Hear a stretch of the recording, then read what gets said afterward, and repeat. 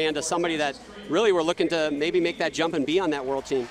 Well, this is really going to challenge her right now, starting on the most difficult event, the balance beam. She's been very successful as a junior and came out very strong this year at her first senior international competition.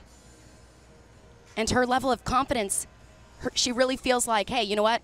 I can hang with the seniors now. Just to let people know, at her first ever senior competition, she beat the two Olympic champions that we're seeing here tonight, Aly Raisman and Gabby Douglas. So that's got to do something for your confidence. First real big test right here. Very difficult, but she takes off with two feet and lands with two feet on that acrobatic element. Makes it much more challenging.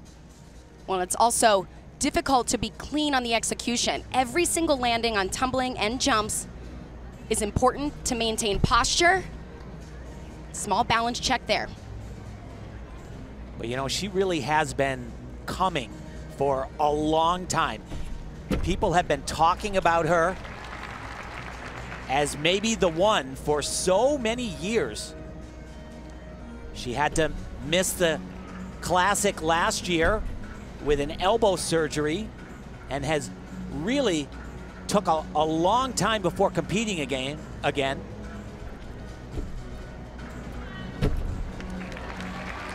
Solid.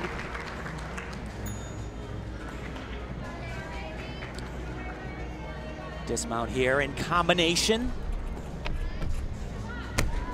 Double pike. Great start. And that is one thing that she does so well, just like this lady she's going to hug right now, her coach, world champion Kim Zmeskal. They are so